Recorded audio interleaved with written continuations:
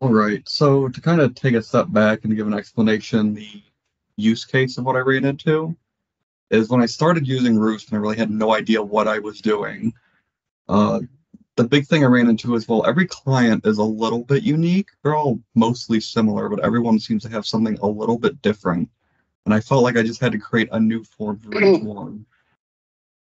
Um, so what I kind of decided to start doing was using my own organization variables to kind of be able to show or hide or make certain things required within a new user onboarding form. So what I have here is basically just the default user onboarding form with some additions to it. Uh, three big things I think that I made custom organization variables for is we use Duo in a number of places. So for this one, it shows or hides this checkbox based on whether they have their uh, Duo organization variable defined. So if I pull this up, it basically just checks is the account ID defined and is its length greater than zero.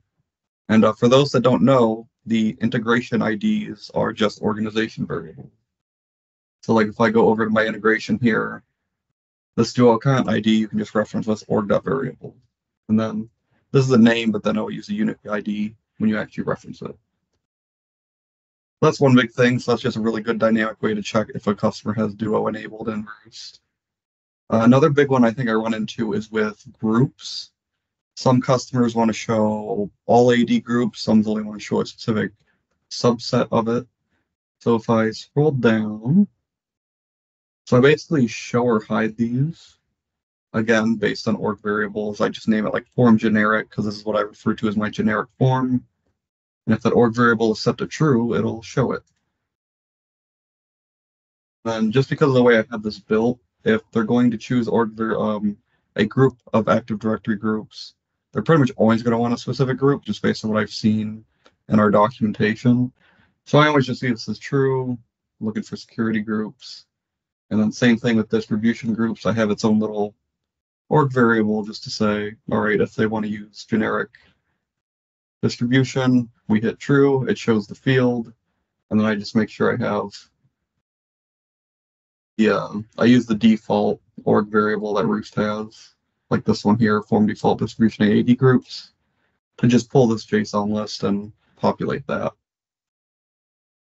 And one other way I've used it with mail enabled groups.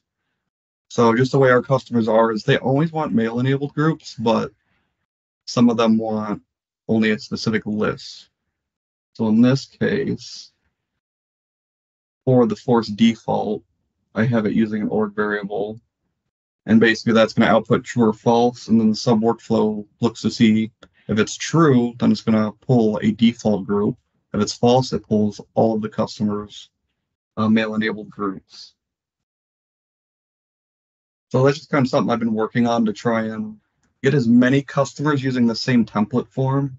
But if you go to my URLs over here, I think I have like eyeballing at 20 to 30 customers using this one form and then I can kind of have that like granular customization of what fields they see or whether they see a default or everything.